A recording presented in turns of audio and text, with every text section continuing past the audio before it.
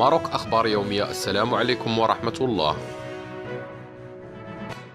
تداول نشطاء مواقع التواصل الاجتماعي بقوة صورة لفاتورة احتساء مشروبات بأحد الفنادق بمدينة أكادير والتي تعكس غلاء الأسعار في المدن السياحية بالمغرب. هذا وأدى أحد الزبناء ما مجموعه 360 درهما كاملة مقابل طلب كوب من القهوة. كوبين من عصير البرتقال قنينة ماء وبراد من الشاي فقط.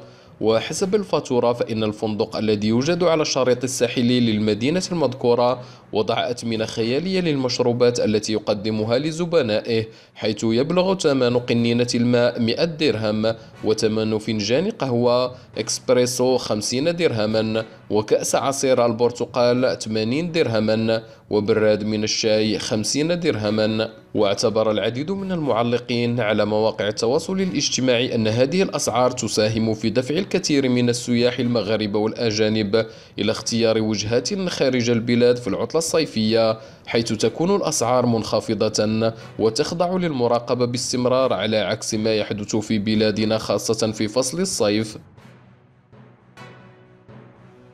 نشكركم على حسن المتابعة. قناة ماروك أخبار يومية.